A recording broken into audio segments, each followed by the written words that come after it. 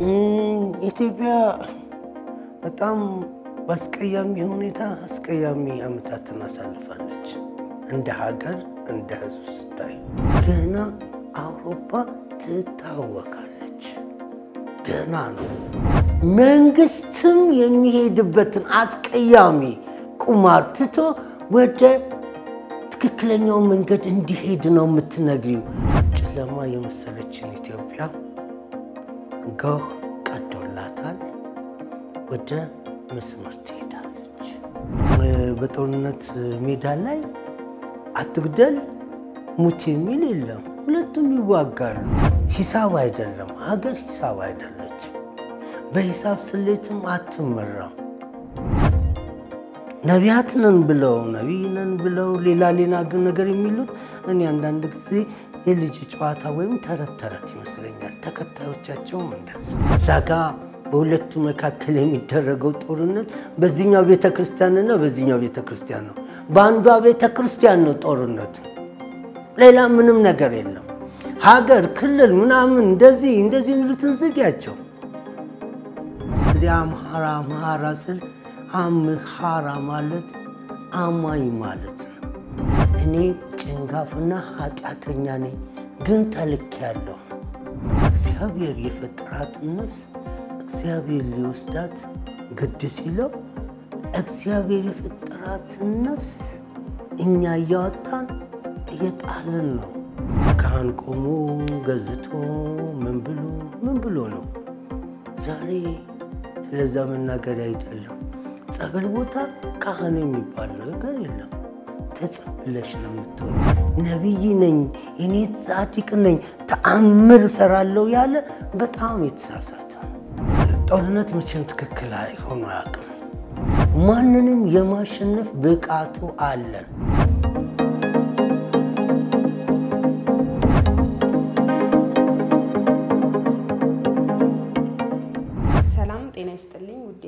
የተከበራችሁ የሀሌታ ቲቪ ተመልካቾች አድማጮች እንደምንቆያችሁ፣ እንደተለመደው መምህር ሰለሞንን ዛሬ በስቱዲዮችን አግኝተናቸው ስለ አንዳንድ ጉዳዮች ዙሪያ ላይ ለመነጋገር ቀጠሮ ይዘን ተገኝተናል።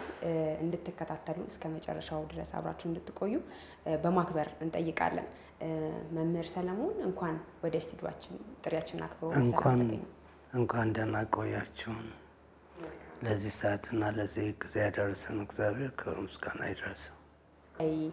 ኢትዮጵያ ውስጥ ስላለው ሁኔታ ትክክልም ነው ትክክልም አይደለም ብሎ ለመግለጽ የሚያስችል በቂ ሁኔታዎችም አለ ወይም ደግሞ መገንዘብ የሚቻልበት ሁኔታ አለ። አሁን ከጦርነቱ እንዲሁም ደግሞ ካለው ነባራዊ ሁኔታ ከኑሮ ውድነቱም ጋር ተያይዞ አጠቃላይ ኢትዮጵያ ውስጥ ስላለው ሁኔታ ትክክልም ነው ትክክልም አይደለም አሁን ባለንበት ሁኔታ ተብሎ መግለጽ ይቻላል። ጦርነት መቼም ትክክል ሆኖ አያውቅም። ጠቅለል ባለመልኩ በዛም ጎን በዚህም ጎን በጦርነቱ መካከል የሚገቡት ወጀቦች ግን አላስፈላጊ ናቸው። በየትኛውም መልኩ ቢሆን ጦርነት አንሺውም ሆነ በጦርነት የሚዋጋው ክፍል ሊያደርግ የሚገባው አንድ ነገር አለ። ጦርነት በየትኛውም ዘመን ከሰው እልቂት የተረፈበት የለም። ኢትዮጵያ በጣም በአስቀያሚ ሁኔታ አስቀያሚ ዓመታትን አሳልፋለች።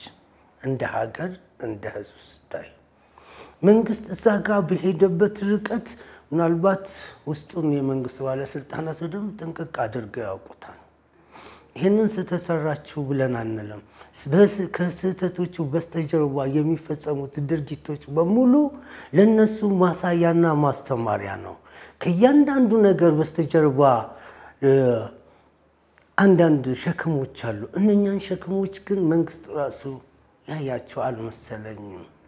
ስለዚህም ነው እንደ ህዝብ ብዙ የሚያሳዝኑ በኢትዮጵያ ታሪክ ውስጥ የሚዘገንን ብዙ ነገሮች እኛ እንዲያው ሌጀንድ ምንድን ነው አፈ ታሪክ የምትያቸው ወይም አንዳንድ ቦታ የምትሰማቸው ነገሮች በዚች ምድር ላይ ተፈጽመዋል። ስቲል እየተፈጸሙ ነው። እነኛ ለነዛ ሁሉ ምክንያቶቹ ምክንያቶቹ ህዝብ ብቻ አይደለም፣ መንግስትም ነው። መንግስት ህዝቦቹን ህዝብ የሚያስተዳድረውን ህዝብ የመጠበቅ ዋስትና የመስጠት ጥንቃቄ ሊያደርግበት ግድ ይለዋል። በተደጋጋሚ አንድ ቦታ ላይ ያተኮረ አንድ አንድ ቦታ ላይ ያተኮረ አንድ ብሔር ላይ ያተኮረ ብዙ ድርጊቶች ተፈጽመዋል። ዘግናኝ የሆኑ ድርጊቶች። እነኛ ነገሮች እንደ ሰው ይሰማሻል። እንግዲህ ድሮ እናትና አባቶቻችን ባሉበት ዘመን ዘመን ውሻ እንኳን ውሻ እንኳን መግደል የሚዘገንንበት ጊዜ ላይ ነበርን እኛ።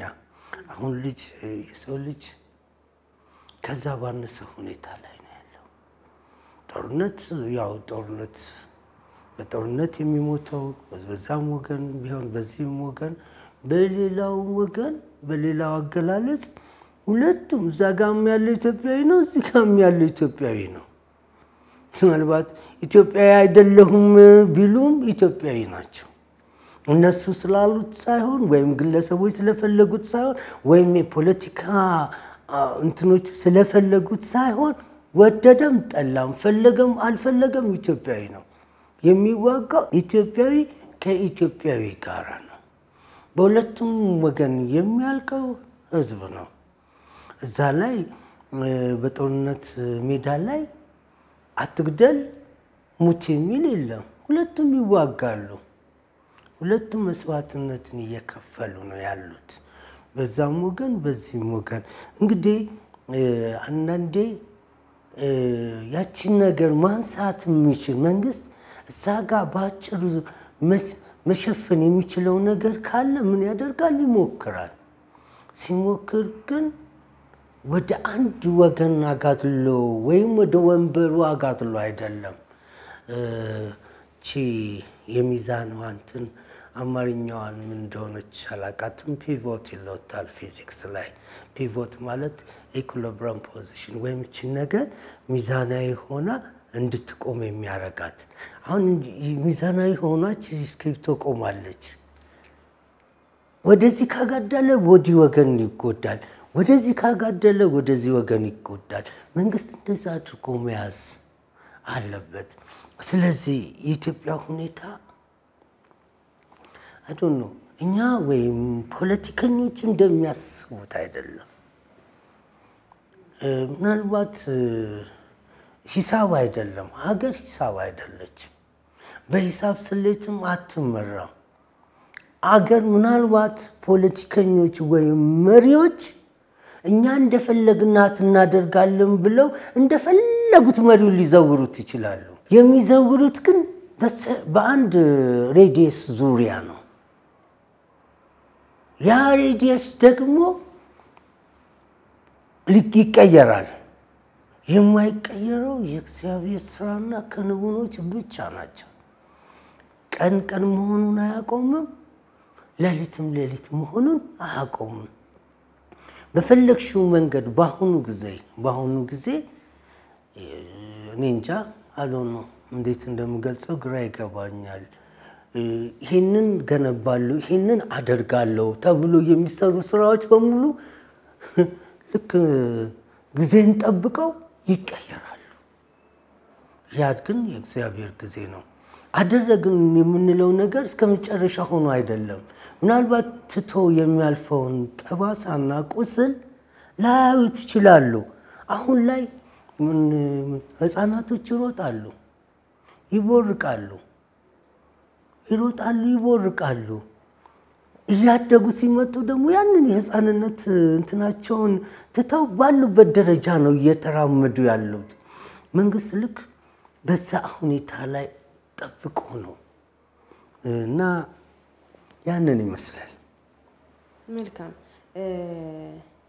ስለ ትንቢቶች ስናነሳ እርስዎ ከሚያነሷቸው ሀሳቦች፣ መልእክቶች ውስጥ አንደኛው ስለ ኢትዮጵያ ስለ ሀገር ያነሳሉ እና እስቲ ስለ መልእክቶት አንዳንድ ነገር ይበሉን። አሁን ለምሳሌ እዚህ ሀገር ውስጥ ይከሰታሉ ወይም ደግሞ ይሆናሉ።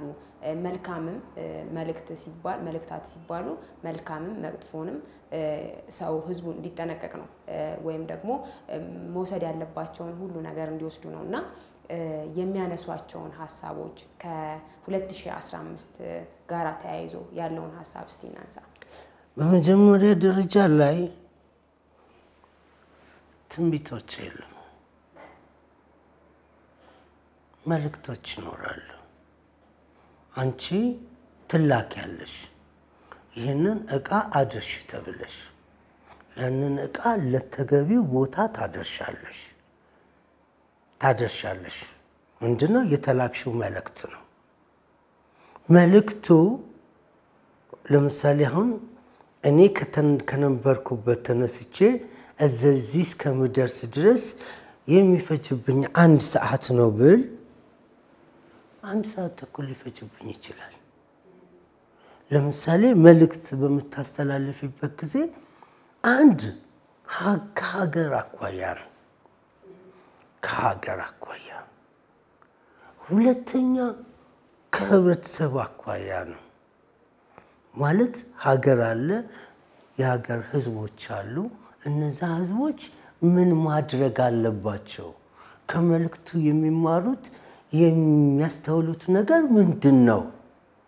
እነገሌ ብለሽ ስትጠቁሚ ኧረ እባካችሁ የተሳሳተ መንገድ እየተጓዛችሁ ነው፣ ያንን መንገድ ካላስተካከላችሁት መጨረሻችሁ ገደል መግባት ነው ብለሽ ትያቸዋለሽ። መሳሳታቸውን እየነገርሽ ነው። የሚሄዱበት መንገድ ትክክል አለመሆኑን ነው ትያለሽ። ግን ምን አለ መሰለሽ አውቆ የተኛን ቢቀሰቅሱት አይሰማም እንደሚባለው ሲነገሩ ይለፍልፉ ያውሩ። ይሄ የፖለቲካ ጉዞ ነው። ፖለቲካና እምነት ሀገር የተለያዩ ናቸው። እምነት በእያንዳንዱ ልብ ውስጥ ነው ያለው። ፖለቲካ ደግሞ በግለሰቡ ውስጥ ነው ያለው። በግለሰቡ ውስጥ አይሽ እምነት በሁላችንም የእያንዳንዳችን ልብ ውስጥ አለ። እምነት በግለሰብ ውስጥ ነው። እንደ ሀገር ስታይ ፖለቲከኛውንም አማኙንም አብሮ ይይዛል። አብሮ ነው የሚጓዘው። ስለዚህ እዛ ጋር ትንቢቶች የሚባሉ ነገሮችን ከ2015 ጋር እሱን እናቆየውና የሚተላለፉ መልእክቶች እነዚህ ነገር ሊመጣ ነው፣ እናንተ ተጠንቀቁ፣ ባለስልጣናት ይሄን ይሄንን ነገር እያደረጋችሁ ነው፣ አስተካክሉ ነው። የእድሜ ዘመንህ እንዲረዝም ይላል የእግዚአብሔር ቃል። የእድሜ ዘመንሽ እንዲረዝም ከእግዚአብሔር ጋር ያለኝ ግንኙነት የምታደርጊው ድርጊት ሁሉ ምን መሆን አለበት? ሚዛናዊ መሆን አለበት። ሚዛናዊ ካልሆነ እግዚአብሔር እንዴት እንደሚጥልሽ አታውቂው። ዓይንሽ እርግብግብ እንደሚል አታይም። ምናልባት እዛ ካሜራማኑ ያ ነው። ልክ በዛች ጊዜ ውስጥ ጭልም ብላ ብርት እንደምትል ብርሃን ያሳጥረዋል። ብዙ ምልክቶችን ይታያሉ፣ ብዙ ነገሮችን ይታያሉ። እቺ ሚስጥር ሀገር አሁን ስለ ሚስጥር ሀገር ያላት የላት ምን የምንልበት ጊዜ በቃ በቃ ባለፉት ከ2015 በፊት የነበሩት ከመግባት በፊት የነበሩት ነገሮች በሙሉ ብዙ ነገር እያየ ህዝቡ ተስፋ የቆረጠበት በቃ እንደ እንትን ያየበት ዘመን ነው 2015 አሁን ከትንቢት ጋር እያየሽ አይደለም። እግዚአብሔር በዝምታ ውስጥ ሆኖ ይመለከታል። እያንዳንዷን ነገር ይመለከታል። ነገሮችን ሁሉ ከምናባዊ የተነሱ አይደሉም። መልእክቶች ምናባዊ አይደሉም። ለምሳሌ እኔ እንደ ጸሐፊ ብሆን በምናብ የምጽፋቸው የተለያዩ ገጸ ባህሪያቶች ይኖሩኛል። ግን መልእክት እንደዛ አይደለም። እንደ መጽሐፉ ይፈሳል እንደሚሉት የሚፈሳ አይደለም። ጊዜያቶች፣ ወቅቶች አሉት። ለምሳሌ መልእክት ሲተላለፍልሽ በሶስት ወር ሊሆን ይችላል፣ በሁለት ወር ሊሆን ይችላል። ያን መልእክት ዛጋ ምናልባት ዩቲዩብ ላይ ሲተላለፍ ምናልባት ታውቁታላችሁ እናንተ አሰራሩ ዩቲዩብ በየጊዜው ካልተሰራ የተሰራውን ብር መልሶ ይወስደዋል ለማስታወቂያ። በየጊዜው የምትሰሪ ከሆነ ምን እየሆነ ይመጣል? እያደገ ይመጣል። በየጊዜው እንትን የማትይ ከሆነ ያለሽን ነገር ምን እያደረገብሽ ነው የሚሄደው? ያስቀመጥሽውን ወይም እሱ ያስቀመጠውን መልሶ እየወሰደው ዜሮ ያገባሻል። የምንሰራው ስራ ለሱ አይደለም፣ ወይም ለታዋቂነት አይደለም። እግዚአብሔር ክብር ምስጋና ይድረሰው። ጥሩ ጸሐፊ ነኝ፣ ጥሩ ጸሐፊ እንደፈለገው አድርገሽ ብትይ ጥሩ ጸሐፊ ነኝ። ያሉትን መጽሐፎችን ባወጣ ከምስጢራት ጋር ደምሬ ታዋቂ የሚለው ጥግ ልደርስ እችላለሁ። ለዛ አይደለም መልእክት አንድን ሰው ከነበረበት ነገር ለውጠሽ ወደ ትክክለኛው መንገድ መውሰድ ነው። መንግስትም የሚሄድበትን አስቀያሚ ቁማር ትቶ ወደ ትክክለኛው መንገድ እንዲሄድ ነው የምትነግሪው። እናንተ ባለስልጣናት ብለሽ ስትጠይቂ አሮ ነው ሰው ስንት ጊዜ ይሞታል? አንድ ጊዜ ነው የሚሞተው። እሱ ሞቶ ግን ሁለት ሶስት ሰዎች የሚድኑ ከሆነ ዋይኖት እና ለዚህ ነው እዚህ ጋር ትንቢቶች የሚባሉት ነገር ቢስተካከሉልኝ ነው። መልእክት ነው መልእክቱ። ለምሳሌ ጦርነት ይነሳል ተባለ፣ ጦርነት ተነሳ። ግብፅ በአባይ ዙሪያ ስትል ምንም አትሆንም ትጮ ስትፈልግ ሌሎቹንም ነገሮች በሚነሱበት ሰዓት ህዝቡ በሚረበሽበት ሰዓት ኖ ተረጋጉ፣ ይሄ ነገር ይሄንን አያመጣም ታሳውቂያቸዋለሽ። እንዲያይ አይደለም እንዲያዳምጥ አይደለም የምታረጊው፣ በዛ ውስጥ ማስተካከል የሚገባውን ነገር እንዲያስተካከል ነው። እንደ አማኝ ጹም፣ ጸልይ፣ ስገድ። እነዚህ ሶስቱ ኃይሎች ናቸው። እነኚህ ሶስቱ ኃይሎች እግዚአብሔር አንተ ኃይል እንድታረግባቸው ስለሰጡ ስለሰጠ ለሱ ክብር ምስጋና አቅርበ በእነሱ ኃይል አድርግ ነው። ምንም ሌላ መልእክቶች የሉም። ሁልጊዜ መልእክቶች እነዚህ እነዚህ እነዚህ ነገሮች ይፈጠራሉ። መንግስት ጥንቃቄ ያድርግ፣ ብዙ ህዝብም ደግሞ እንደ ህዝብነቱ ማድረግ የሚገባውን ያድርግ ነው እና እንግዲህ የጨለመችው ኢትዮጵያ ጨለማ የመሰለችን ኢትዮጵያ ጎህ ቀዶላታል። ወደ መስመር ትሄዳለች። እንዲህ ነው እንደዛ ነው አልልሽም። ምናልባት ብዙዎች ይህንን ነገር ከብዙ አባቶች ንግርት ጋር ወይም ትንቢት ብለው ከሚያስቀምጡት ጋር ሊያያይዙት ይችላሉ። ግን አይደለም።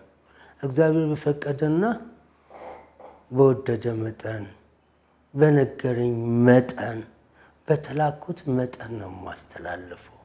ስለዚህ እንግዲህ ብሩህ ብርሃን አለ ብዬ አስቀምጠዋለሁ። ብሩህ ብርሃን አለ ለማ ለኢትዮጵያ። መልካም። ቅድም ላይ ስለ ትንቢትና ስለ መልእክት ተናግረው ነበርና ትንቢት የሚባል ነገር የለም ብለዋል። ትንቢትና መልእክት ምንድን ነው ልዩነት? ትንቢት የምንላቸው ነገሮች እንደ ዘመንኛው አይደለም፣ እንደ ጥንት ነው። ከአዲስ ኪዳን በፊት ያለው ብሉይ ኪዳን ብዙ ነቢያት ይነሳሉ። እነኛ ነቢያት እስከ ዓለም ፍጻሜ ስለሚሆነው ነገር አንድ በአንድ አስቀምጠውታል። ለምሳሌ በዛ ጋር ነቢያት መልእክት ለማስተላለፍ ትንቢቶች ተጽፎ የተቀመጡ ነው።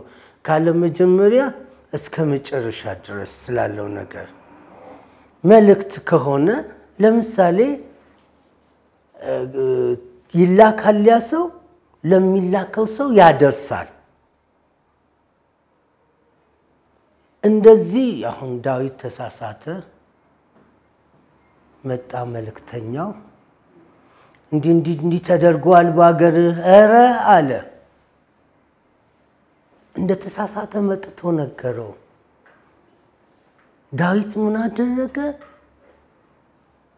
ማቅለበሰ ብዙ ነገር ማድረግ ፈለገ። ግን እግዚአብሔር ልኳልና ያ ነገር ከመሆን ምንም ቢያደርግ ያ ነገር ከመሆን አልቀረም። ነቢዩ ትንቢት አይደለም የተናገረው፣ ይህንን አድርገሃልና ይሄ ይደርስብሃል ነው የሚል መልእክት የደረሰው ቅዱሻል። ስለዚህም ነው ትንቢት የምንምለው ከዓለም ነቢዩ ካለበት ወይም ትንቢት ተናጋሪው ካለበት ጊዜ አንስቶ እስከ መጨረሻው በዝርዝር የሚቀመጡ ናቸው።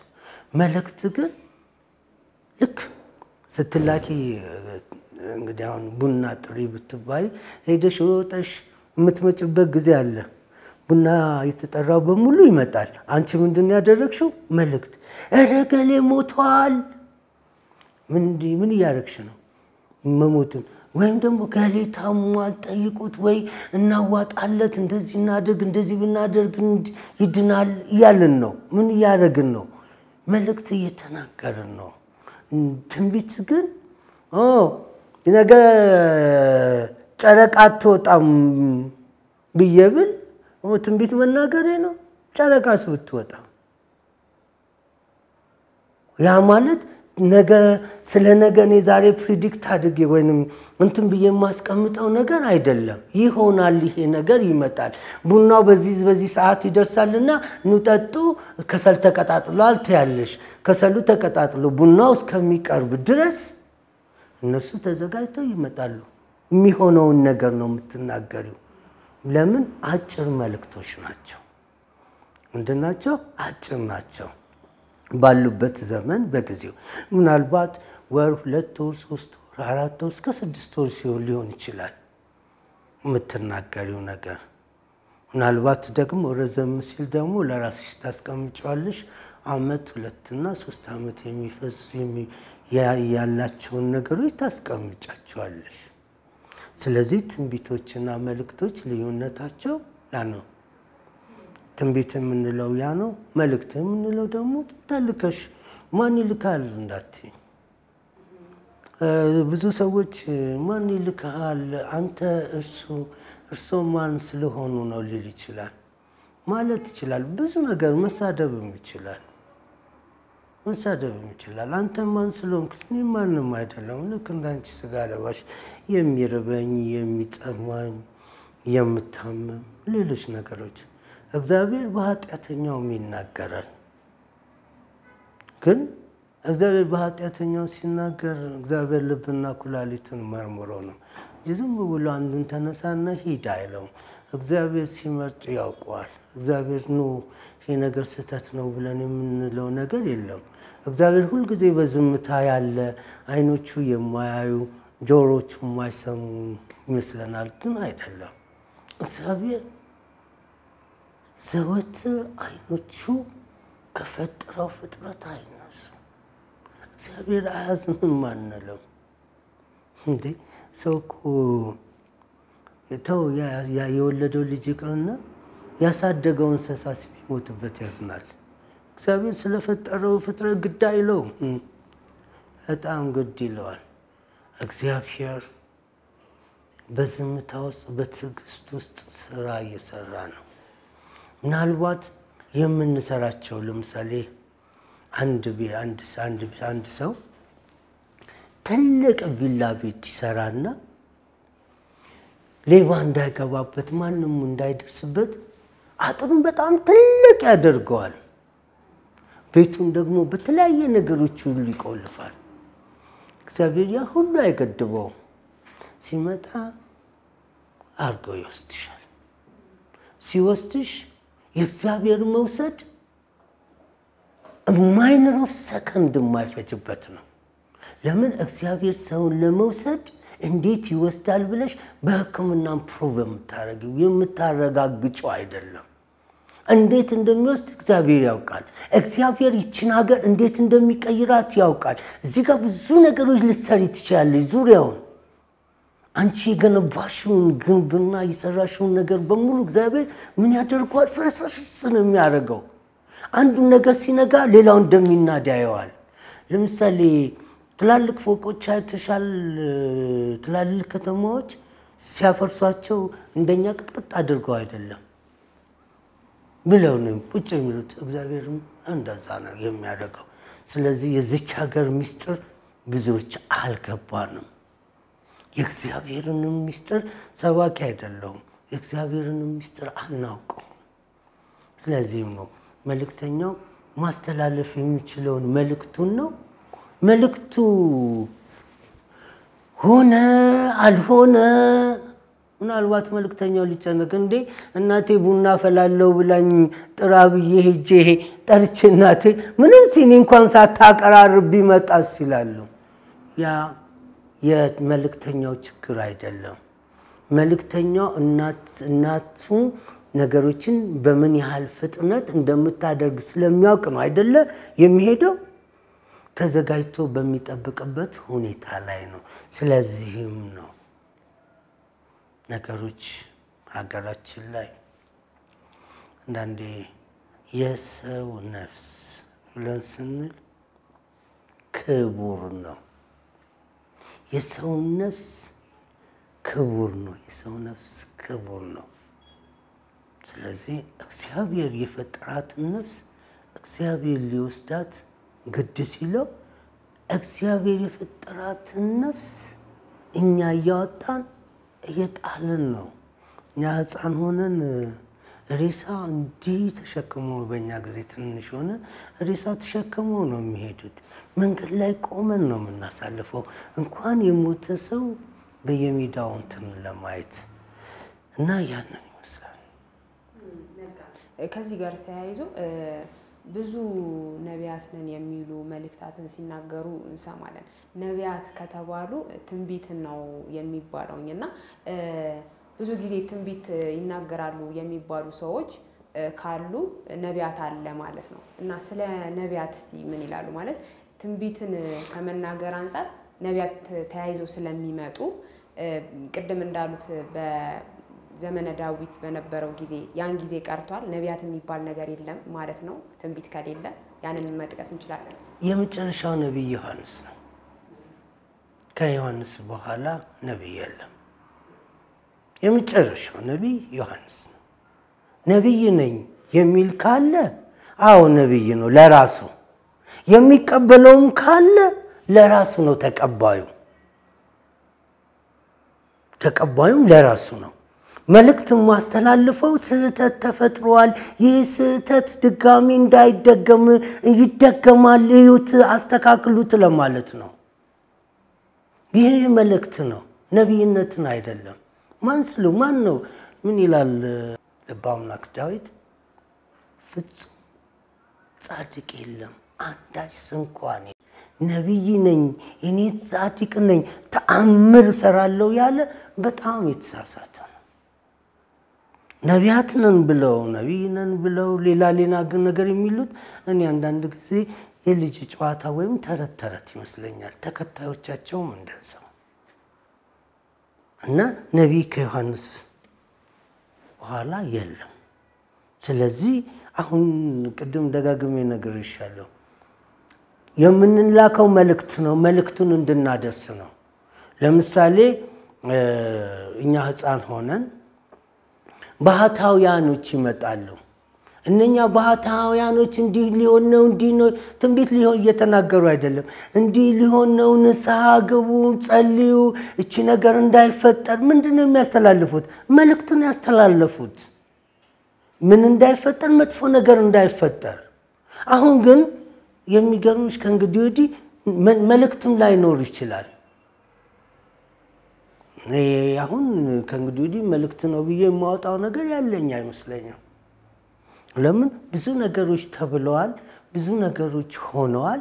ከነዛ ሰው ነገር ይታደል እግዚአብሔር እድሜን ይጨምራል እኮ እድሜ ሲጨምርሽ አንቺን አማክሮ አይደለም፣ የአንቺ ትጋት ነው እድሜሽን የሚጨምርልሽ ወይም ደግሞ አንቺ የወለድሻቸው ልጆች በሚያደርጉት እናትና አባታቸውን እንዳያጡ በሚያደርጉት ጸሎት ሊሆን ይችላል ያንቺ እድሜ ከፍ ያለው።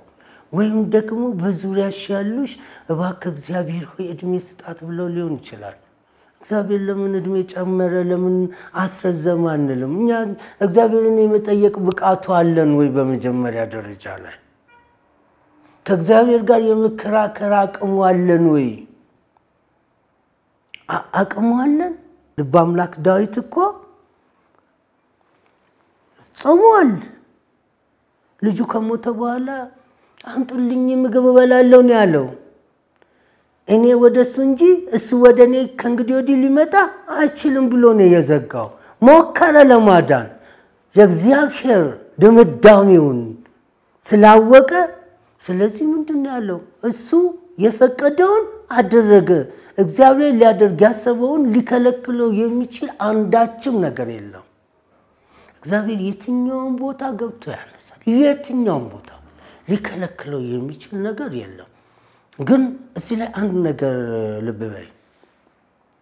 ምናልባት ወደኋላ ከመልእክቶቹ ብነሳ ጽዮንን እየነካኩ የአውሮፓ ሰዎች ታወኩ የሚል መልእክት ተላልፎ ነበረ። ጽዮን የታናት አውሮፓ ሰዎች እንዴት ታወቁ የምናየው ነው። ይሄ ከዩክሬንና ረሻ ጦርነት በፊት የተነገረ መልእክት ነው። ምን ሆኑ? ታወኩ። ይህንን እንዴት ተብሎ አስቢ።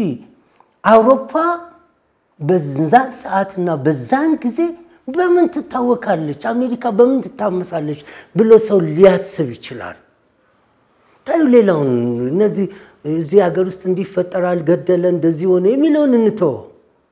በዓለም ላይ ስለሆነ ነገር ነው እየነገርኩሽ ያለሁት። ሆነ አውሮፓ ታወከች፣ ስትል ታወካለች፣ አሁንም ትታወቃለች። ወደፊትም ብዙ ብዙ በዓለም ላይ የማንጠብቃቸው ብዙ ታላላቅ ነገሮች ይደረጋሉ። ይህ የእግዚአብሔር ምስጢር ነው። ለማስፈራራት አይደለም። አንድ መልእክት የምታስተላልፊ እዛ ጋ ያሉት ተዝናንተን ተቀምጠናል የሚሉት በብር የሚያመልኩት ኧረ እባካችሁ ከብር አምልኮት ወደ እግዚአብሔር አምልኮት ግቡ ለማለት ነው። ይኸው ታዩታላችሁ። በዚች ሀገር ላይ የደረሰው ነገር እናንተ ጋርም ይደርሳል፣ ገና ይደርሳል።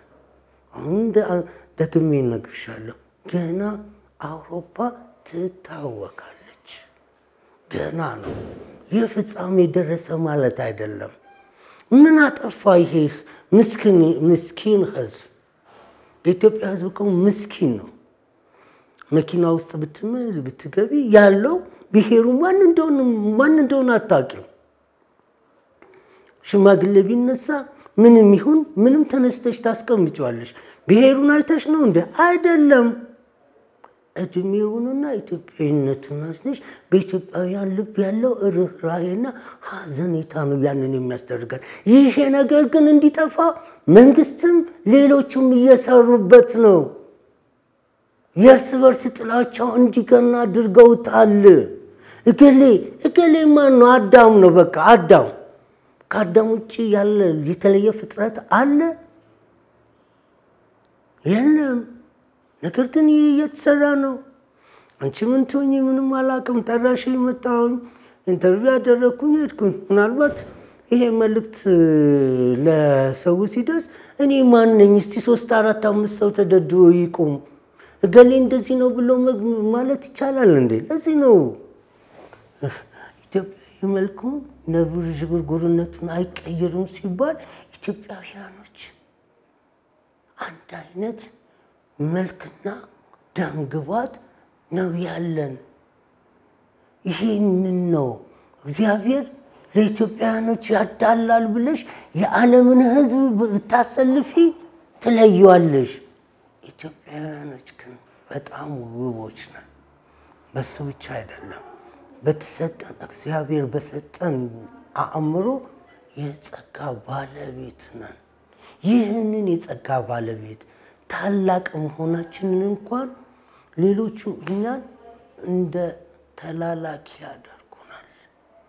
ኢትዮጵያዊ ለክብር ለእግዚአብሔር ሲል ያጎነብሳል እንጂ ስትነሽበት ማንንም ማሸነፍ የሚችል ብቃቱ አለ። አሁንም ደግሜ እነግርሻለሁ፣ ማንንም የማሸነፍ ብቃቱ አለን። እንዲህ ነው እንደዛ አላለሽም። ሊመጣ የሚችለውን ኃይል የማስቆም ብቃቱ አለ። እዛ ጋ በሁለቱ መካከል የሚደረገው ጦርነት በዚህኛው ቤተ ክርስቲያንና በዚህኛው ቤተ ክርስቲያን ነው። በአንዷ ቤተ ክርስቲያን ነው ጦርነቱ። ሌላ ምንም ነገር የለም። ሀገር፣ ክልል ምናምን እንደዚህ እንደዚህ የሚሉትን ዝጊያቸው። አንዷን ነገር ለማጥፋት ነው። ያም ስልሽ ምናልባት ብዙ ጊዜ አምሃራ አምሃራ ስል አምሃራ ማለት አማኝ ማለት ነው። ብሔሩን ማለት አይደለም። ብሔር የሚባል የመጣው ይህም ቁማር ጨዋታ ድምፅ ነው። የቁማር ጨዋታ ድምፅ ኧረ እንግዲህ ቁማር የሚጫወትበት ቦታ አቤት ጫጫታው ምናምን ከዛት ነው። ለምን ሰዎቹም እዛ የሚጫወቱትም አብረው ይጮሃሉ። ልክ እንደ ዳንስ ቤት ድብልቅልቅ እንደሚላ ሙዚቃውን እኮ እንግሊዘኛውን ላይሰማው ይችላል። አብሮ ግን ምን ያደርጋል? የገባ ሁሉ ይጨፍራል። ውጤቱን ግን በኋላ ነው የሚያውቀው። እና ስለዚህም ያንን ይመስላል። መልካም ስለ በዚሁ ጠቅላላ አድርገን ጨርስ ብዬ አስቤ ነው። አያይዘን ስለ ሐሰተኛ ነቢያት ካወራን ዘንዳ እነዚህ ሐሰተኛ ነቢያትን የሚባሉትን በምንድን ነው መለየት የሚቻለው? ሐሰተኛ ነቢያት በመጀመሪያ ደረጃ ቅድም ነገር ያሻለሁ ሐሰተኛ ነቢይ የለም። በመጀመሪያ ነቢይ የለም።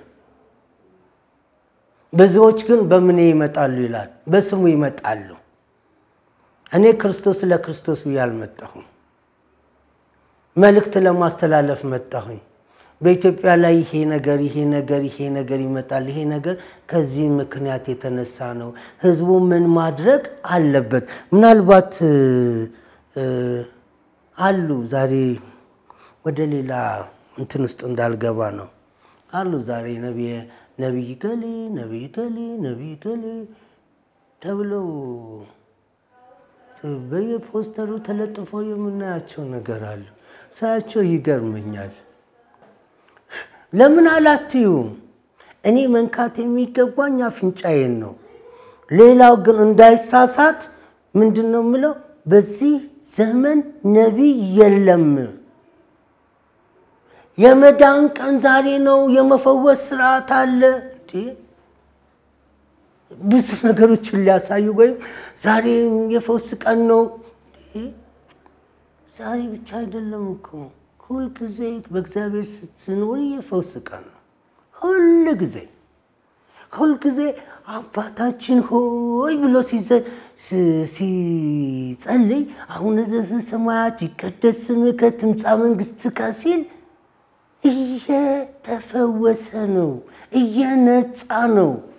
የበደሉንን ይቅር እንደምንል ሁሉ ምን ይላል? በደላችንን ይቅር በልልን ሲል ከበደሉ ምን ሆኗል? ነጽቷል። እግዚአብሔር ይቅር ብሎታል።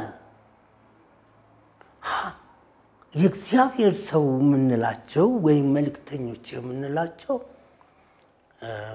እዛ ጋ አሁን ለምሳሌ አባት አባት እኔ አይደለሁም፣ አባት እግዚአብሔር ነው። እኔ አባት አይደለሁም፣ እግዚአብሔር ነው። መምህር በሉኝ። መምህር ራሱ ትልቅ ማዕረግ ነው። ክርስቶስ መምህር ረቡኒ ነበር የሚሉት መምህሮይ ነው። ክርስቶስ በተጠራበት ስም መጠራቱ ራሱ ባይገባኝም በጥቂቱ ይዤዋለሁ። ጥቂቷን ለምን አይገባኝማ? እኔ ብቁ ነኝ ወይ ለዛ እንጂ ክርስቶስ ያን ሁሉ አድርጎ መምህር እሱ በተጠራበት ስንጠራ ግን አባት ከሚለው መምህር የሚለው ነገር ይሻላል ብዬ ነው። ለምን ክርስቶስ በምድር ላይ ምን ስላደረገ? ስላስተማረ ብቻ። ማስተማር ብቻ አይደለም። ክርስቶስ አብሮ በመምህርነቱ ሊመጣ ስለሚገባው ነገር ይገልጽላቸው ነበር። ትንቢት እየተናገረ ነበር እንዴ? አልነበረም። ስለሚመጣው ነገር ይነግራቸው ነበረ። ይሄ መቼ ይሆናል ብለው ይጠይቁታል፣ ይጠይቁት ነበረ። ምልክቱን ነበር የሚነግራቸው። በዚህ ጊዜ እንደዚህ ይሆናል እንደዚህ ይሆናል እያለ ትንቢት አይደለም የሚኖረው። የሉቃስ መልእክት ነው አይደል የሚለው? ዮሐንስ መልእክት ነው አይደል? መልእክት ነው አይደለ? ስለዚህ ምንድን ነው እነዛ ነገሮች የነበራቸው መልእክት ናቸው፣ ትንቢት አልነበሩም። ልብ በይ፣ ትንቢትና መልእክትን ልብ ልንለው ይገባል። መልእክቶች ናቸው። መልእክቱ አሁን ለሚኖረው ትውልድ እንዲያይ ነው። እንግዲህ አንድ ሁለት ሶስት አራት አምስት ስድስት ያሉት አንድ ሁለት ሶስት መስመር ነው። ልብ በይ አንድ ሁለት ሶስት መስመር ነው የምትሰሪው። በሌላም በሌላ አይነት መልኩ ገልጫለሁ። ሶስት ስል እንግዲህ እንዲህ ስናደርገው ምን እያደረገ ነው? ስለዚህም ነው ብዙዎች መልእክትን ከነቢይነት አድርገው ያጣምሩታል። የሰው ልጅ ሁልጊዜ እግዚአብሔር በሰጠኝ ኃይል አደርጋለሁ። ማን በሰጠኝ? እግዚአብሔር በሰጠኝ ኃይል አደርጋለሁ ነው። እኔ በእኔ አይደለም የማደርገው፣ እግዚአብሔር በሰጠኝ። እግዚአብሔር ሲልከኝ እላካለሁ። ካላከኝ ምንድን ነው ምንድን ነው የማስተላልፈው? ቡና ቤትሽ ቡና ሳይፈላ ቡና ጠጡ ብለሽ እናትሽ ትልክሻለች እንዴ? ወይም ሳዘጋጅ ይህን ነገር ልታደርግ አሁን ለምሳሌ ገብርኤል ማርያም ብለን ጸበል ጸዲቅ ቅመሱ ስትይ ምን ተዘጋጅቶ ነው? ጸበል ጸዲቁ ተዘጋጅቶ ነው። ጸበል ጸዲቅ ሳይዘጋጅ ጸበል ቅመሱ ኑ ትያለሽ እንደ አትይም። ስለዚህ እዚህ ሐሰተኛ ሐሰተኛ ነቢያት የሚባሉ በመጨረሻው ዘመን ምን ይመጣል? ብዙ ሐሰተኛ ነቢያት ይነሳሉ። ሐሰተኛ ነው፣ ነቢይ አላለም። ምንድን ያለው? ሐሰተኛ ነው፣ ነቢይ ይነሳል አላለም።